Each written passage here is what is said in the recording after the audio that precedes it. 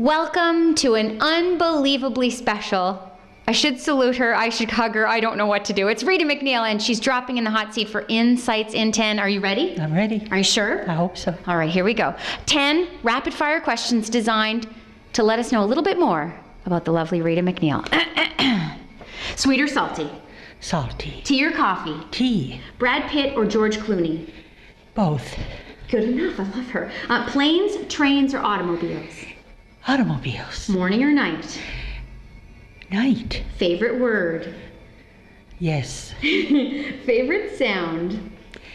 The sound of the water. Nice. Favorite movie?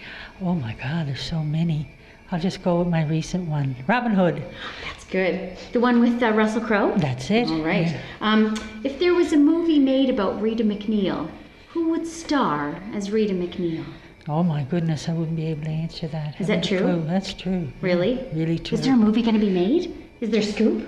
There is, but we can't reveal it tonight. Oh, I love it. All right. Well, who would star as your romantic lead? Have you cast? Clooney. I I can it. dream. I can dream. Very good. All right. Well, there you have it, ladies and gentlemen. Now we know a little bit more about Rita MacNeil. Thank you. You're welcome.